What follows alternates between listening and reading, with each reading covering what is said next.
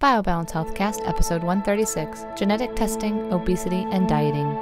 BioBalance Healthcast features conversations about positive aging.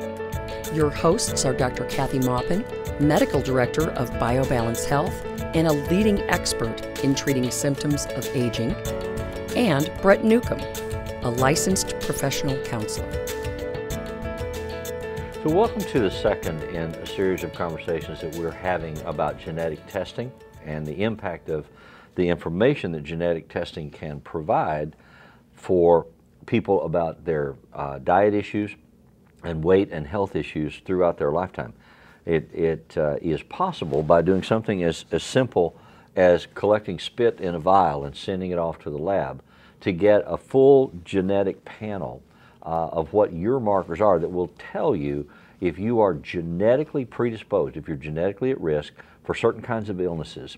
And from that information, you can then learn. For instance, we, we were talking in the previous podcast about diabetes and type 2 diabetes in particular. In, in my family, there are genetic markers that say we are aggressively at risk for that. And so, what that tells me, and it tells my, my son and his son and so on, if those genetic markers stay true, is that we have to be responsible for what and how we eat if we want to avoid becoming diabetic. And so, whether you like it or not, it's reality. And so, you have to learn these things so you make better choices and responsible health choices. And so, with that in mind, uh, one of the places I'd, I'd, like to start in this conversation, which is a continuation of the previous one, is about what uh, we call hunger perception. Mm-hmm. You know, how do I know when I'm hungry? How do I know when I'm full? And psychologists have done so much study in the area of hunger perception and uh, they've done all kinds of different things, and we'll uh, talk never, about never some of them. Never did they really think they were hardwired into us. They never started from the perception that we have a hardwired hunger mm-hmm. gene or a hardwired not hunger gene, not hungry gene, and and that runs us. They started from oh, we were behaviorally modified from ch- childhood. Yeah. But you can still use behavior modification for these. Oh, you have to. I mean, it's about the only, and for some things, it's the only thing you can do is modify the behavior. So the genes that, that determine probable behavior for us on the hunger perception is mm-hmm. is a gene that that gives us the hormone leptin, and leptin is a is a I feel full gene mm-hmm. or I feel full hormone, excuse me, and uh, so so they do a, a test on the gene that that determines that part of the leptin activity. Mm-hmm. And we actually have genes, some people have genes that say, I'm never full. I'm hungry all the time. Yeah, the, the, this test identifies two of those genes. One is the gene that causes you uh, to feel hunger, and I don't know the names of, I mean, there may be a name to this, but they, they designate initials. NMB causes you mm-hmm. to feel hunger, and FTO causes you to feel full. Right. And so leptin is apparently the switch that goes back and mm-hmm. forth. So when one of those genes is driving the bus and you feel hunger, you go out and you eat. When you've eaten enough, the leptin that is generated triggers the other one to say, stop eating. Mm-hmm. Uh, are there ways to play with that to accelerate the amount of leptin or to uh, change the messaging that takes place? There's a lot of research being done on that. Yes, there There's are. A, so, so in the near future, I'm, I believe there will be medications that can be adjusted mm-hmm. to change what's hardwired into us. But for now, we have to know if it's hardwired or not. So the the um, hunger gene means you're always feeling hungry, or you feel hungry more than other people. And if that's positive, and I have that actually, I don't know that I feel hungry all the time, but mm-hmm. um, but that's one of my genet- genetic hardwired um, characteristics. So I have an increased feeling of hunger where other people might not feel hungry. I would feel hungry and have to eat. Well, and another thing that tells you that so much of it is biochemical mm-hmm. and not just self-discipline. It's mm-hmm. not, not like they're lazy or they're unwilling to do what they need to do. Mm-hmm. Is I mean, if, if you know anybody that's on ADD medicine, Mm-hmm. ADD medicine suppresses the hunger drive. Right, and that's exactly how we, we would handle something like this. If you can't, knowing this, if you can't change your um, activity, you can't schedule meals and snacks so that you f- don't feel as hungry. S- That would help. If you can't do that, then we have to use medication, and we can use amphetamines, which are like the ADD medicines, or diet drugs. They're both similar. And we could also use Victoza, which is a uh, is being tested to suppress hunger, and is currently a diabetic drug. We could also use Topamax, which is um, a new diet drug that that actually was a seizure medicine and a migraine medicine. But these and medicines found that they decrease hunger. the medicines Kathy's talking about are prescription medicines, and Yeah. you need a physician. If you buy over-the-counter stuff to restrict your diet, all that's going to do, the, way that that stuff works, is it inhibits your taste buds, and so you don't get the satisfaction feeling of tasting what you want to eat, uh, and so that suppresses or reduces the, the hunger drive because you don't get the payoff. Uh, but it's not very effective, and that's why the over-the-counter medicines don't really work for most people. So if you can't manage the hunger gene, that's why we do consultations with these so that we can actually treat things, treat these these hardwired problems. Mm-hmm. If we can't treat them behaviorally, we try treating them with medication. or both. Or both. You know, you treat them with the medication to get the window open for retraining the habit patterns. I mean, sometimes you the you ha- the working in psychology with people that have addictions or obsessive and intrusive thoughts and those kind of things. One of the skills that we we try to teach them is something called thought stopping. And so if you have these intrusive thoughts about a snack or something that you want to, to consume that's not good for you, you have to teach yourself to consciously stop thinking about it and learn to switch and think about something else.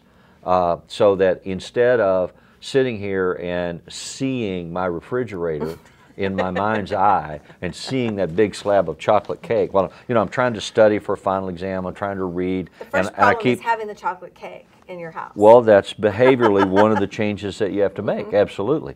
But to help people get there, I mean, you- you, mm-hmm. you can't just go home. Th- They do that sometimes. I mean, some of the TV shows you watch about little kids with these incredible eating disorders where uh-huh. they crave food, they have to lock the cabinets, they have to keep them out of the mm-hmm. fridge, put a chain around it, padlock, what have you. You start with saying, keep the stuff out of the house.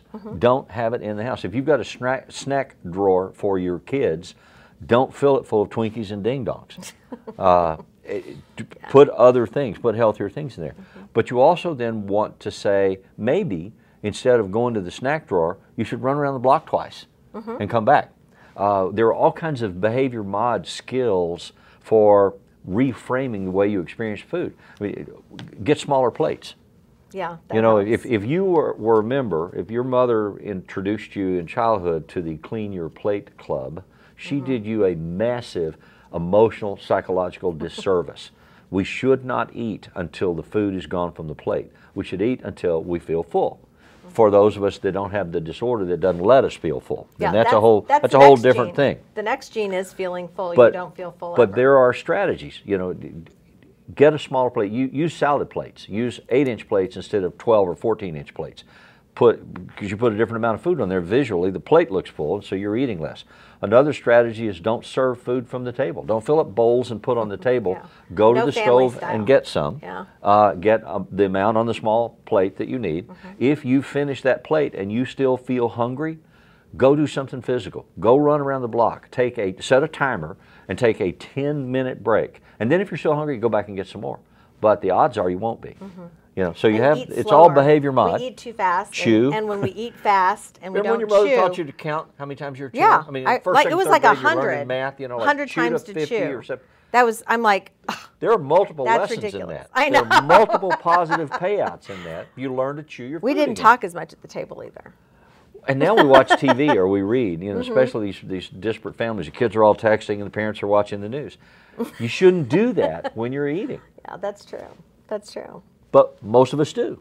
That you're absolutely right, Yeah, and so- we do. But uh, the satiety gene, the feeling full gene, that's that's something I honestly didn't think was a genetic issue. I mean, where people sit down and eat, and even eat slowly, and eat. I grew And- up, I grew up in the country and we didn't have high for- satiety. we were always hungry. Okay. okay. Oh my gosh. What do you want to talk about next? so, so I have some um, family members who would spend the weekend with us and clean out the refrigerator because they were never full, ever. And we were like a week's worth of groceries. Oh yeah, gone. and they would eat it in two days. And they'd eat it at night, and they'd get up in the middle of the night and eat it, and they were never full. And and I'm like, how does that happen? You know, I just couldn't. I couldn't even fathom it. Even the kids did that. So that must be part of their makeup is never feeling full. And I would hate it if I never felt full. I like feeling full, but not yeah, but too you're the full. kind of person that would get up in the morning and say, instead of having these pancakes, let's go for a run. Yes, you're right. Or should we eat boiled eggs? We're not eating. But in those days, we ate pancakes. Get thee behind me, Satan. yes, I know. But it was healthy. Yeah. I, I didn't just I wasn't born this way. I had to I had to look at enough people who were obese and take Yes. care of enough people who were obese and lift enough people to the operating table who were 350 pounds to finally go I can't be that person. The that tr- so the unhealthy. Tragedy and the sadness that people suffer when they are obese is, I mean, they are social pariahs. They have health issues. They have self-esteem issues. It, it is such an awful thing, and if you know early enough on that you are at risk for that by knowing what your genetics are. Mm-hmm. And you can learn more moderating behaviors Mm-hmm. to protect yourself, to make yourself safe. It's, it's a life insurance policy. But I'd also challenge you to look at people who are obese and think they have all these genes. They got a bad deck of cards dealt to them. Yeah. It is not a personality defect. It is something that they they have. You got a better And that's a deck real of cards cultural message did. in this society. So you you were you were blessed, Yeah. and if they have that, then it's it's not your job to to make their pain worse. Right. It's your job if they ask, and only if they ask, to try to help, because this is something that I mean, it's hormonal, it is genetic, it is behavioral, it, it has everything to do with everything. But just because you feel good and you're thin and you like to run does not mean that's the answer for them. I It is work, I a worked different with answer. clients that were obese who would come in and talk to me about all of the emotional damage that, and physical damage and relationship damage that does. But they would talk about how they would hide the volume of consumption. You know, that they would go to the quick shop and get a dozen donuts and eat them on the way home uh, because they were going out to dinner with friends. And then at the restaurant, they'd just have a salad. Right.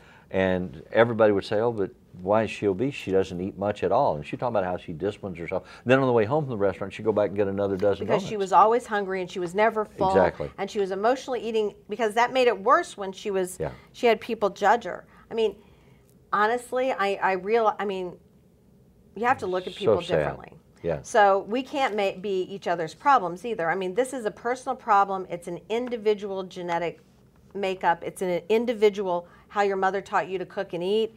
I mean everything's a relearning process but Yeah. the biggest the biggest lesson here is you can't judge people pers- personally for their weight when you know that genetically they were programmed in a certain way. Mm-hmm. So they, you know, they can get out of it, yes, but they have to know how to get out of it, and that's why we're here today. Well, yes and no. I mean, it's not about judging somebody. It's not about looking at somebody Well, else and I- judging, it- but I hope not. but it's about self-knowledge. I know that I am genetically programmed to be at risk for certain things happening. I can act in a way, i- if with the right education, the right help, the right training, to avoid that risk or minimize it. Mm-hmm. So I have an option to try to do that. Well, I have the obesity gene. Mm-hmm. I mean, when you go down here, there's an obesity gene, and it's it is one that says you're more likely than not to be obese, to have a high BMI. But I'm not because I I know I've been fighting that in my family, and I've Yeah. been fighting that. I mean, my parent parents and grandparents were all obese. Not my parents, but my grandparents were all obese. Yeah. So I, I know that that was in there somewhere, and it is very hard for me to lose weight. So I just have to know the rules, and th- this helps me know the rules. So So it's hard for you to lose weight. Is that a genetic thing? Is that the metabolism markers? right, there's another the- metabolism gene in here as well. The word for that, ada, Uh, adiponectin. adiponectin. yes. Another hormone that we found that, um, and this I have to. It's new, so I have to actually look at it. But if if adiponectin is high, then you don't have trouble losing weight. If adiponectin is low, then you do, and mine is, and I have that gene as well. So I have low adiponectin and I have the obesity gene. So my metabolism is naturally low and I don't have enough of this one hormone. And there's a lot of research going on about that too. So someday these will be treated with a replacement of a hormone or a blocking of a hormone or an enzyme blocker. But right now, we just have to know this is here. Right. So all of this, your metabolism, you can have a fast or a normal. They tell you whether you're fast or normal. Okay, so if you're fast, you're probably not listening to this because you're probably burning up your calories as you, as you sit there at, while you're just sitting. But if you're a metabolic slug, Yeah, then then you're gonna have to work harder. So it's it's it's why models are tall and thin. They find them that way. And it- they were born that way. yeah, but, but it's a real challenge. I mean, to make yourself get up and do something, to make yourself go and exercise, and you need aerobic exercise, uh, get your heart rate up. To to make yourself do that instead of eat another candy bar, eat some chips, and watch the next TV show requires a discipline, an act of will, and an act of intention. It may require loving support uh, from others to Mm-hmm. invite and encourage. and accompany you while you're exercising. You may want to have company when you exercise, and and you may want to have somebody that you want to talk to while you're in Yeah. between workouts. And, You know, and we're talking about this from the standpoint of being grown-ups who make our own choices. I worry about the volume of children that I see that are already obese. They took PE out of the school, and they took the the president's award for physical fitness. I remember working on that. Oh yeah. I was standing in the street throwing a softball. I didn't have upper arm strength then, and I didn't. I couldn't throw a softball, but I threw it until I could throw it far enough to get the award. Yeah. I mean, and then I was out walk, running around and doing Yeah, I remember stuff. in all our PE classes, and we had those tests to, to get the award. You, know, mm-hmm. you had to be able to do all these different activities, so many push-ups, so many Pull-ups, pull-ups, run so far yeah, and so much time, sit-ups. all that kind of stuff. We don't so, do so that anymore. That's an issue for children in America today, and part of that is fast food. Part of that is prepared processed foods. Uh, we talked earlier no time for PE. about you know uh, playing video games or texting or watching TV when we eat our meals instead of becoming conscious of what we eat, becoming Mm-hmm. conscious of how we feel. We, we, we've trained ourselves to bypass that Right. awareness, and so if that's what we're doing to our children, we certainly need to stop. But a lot of people just give up on exercise because It's hard. I've heard. Well, first of all, if you don't have your hormones after 40 Yeah. and you're female, Yeah. you're not going to go exercise because it makes you more tired. Mm-hmm. Unlike exercise in general, should make you have a lot more energy and feel better. So there are three tests or three genetic tests on here, believe it or not, because I was taught a calorie is a calorie is a calorie. Right. A calorie is the same to you as me as to Ramondo, who's who's doing our taping. Everybody, the cal the calorie is the same, and this proves it's not because I if I have a gene for uh, that says that I can lose a lot of body fat by aerobic exercise, then I can burn off more calories than somebody else. Unfortunately, I don't have that gene. but but that that there's a there's a test to see if you have the gene that that lowers your body fat by exercising. Mm-hmm. If you do, then that is how you should lose weight, not by restricting your diet and sitting on your duff. Mm-hmm. So this helps you learn what kind of exercise is the best for you. But insulin sensitivity, we've talked about that before. We become insulin resistant, meaning we can't use our blood sugar for energy. We can't because insulin carries the blood sugar into the cell. So if we're insulin resistant, we just make fat out of blood sugar.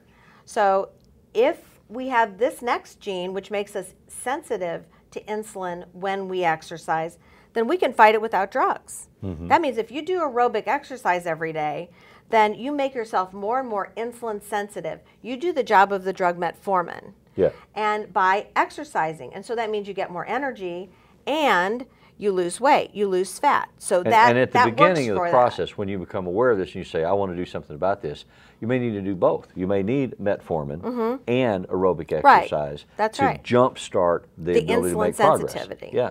Right. But by knowing this, I look at this and I go, well, I'm not going to lose bo- body fat from exercise, but I am going to be insulin sensitive. So, in a way, I'll lose body fat. Mm-hmm. So, that would be a good thing for me. Mm-hmm. And, and so that's why these two tests are good. And then BMI response to exercise. I also have that. My BMI will go down drastically if I exercise every day. So by exercising twice a week like I do, that's probably not enough. So this tells me I need to exercise, have time in my schedule to exercise every day. That's more important than anything. And psychologically, you can see that as intrusive and oppressive and frustrating. Why do I have to do this when other people don't have to? Or you can reframe it and see it as something you embrace and that you, uh, you experience uh, vivacity and energy and enthusiasm from doing, and it's a matter of habituation and, and mental uh, framing. You got to change the perception. I, have never looked at it, at something like that mm-hmm. as as a. I, I just don't look. The glass is half full for me. I look at it as gosh, now I've got the rule book. Yeah. I've got the rule book. I've been looking for my but, rule book all this time. But that's one and now I of have the fundamental psychological differences for you. You approach the world as the glass half full. There are mm-hmm. people that approach it as a glass half empty. That's true. And that makes it harder for those individuals. And that's where and I don't people mean like me come along to, to, help them. yeah, sometimes you're a little glib and self-satisfied. Yeah. yeah. I'm not self-satisfied.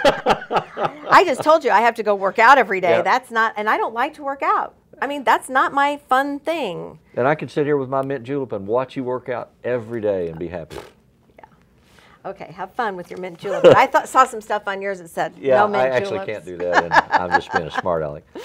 So. But anyway, the, the summative point here is that there now are ways for you to find out what your genetic markers are and to acquire the information that then gives you some tools to make different choices and find a different program to improve and increase the quality of your life uh, in intelligent and, for the most part, somewhat easy to manage ways. I mean, not easy to manage in that it's hard to exercise and it's hard to say no if you have a sugar craving. And it's hard to change your behavior. But, but easier than being diabetic or obese or suffering the, the slings and arrows of outrageous fortune.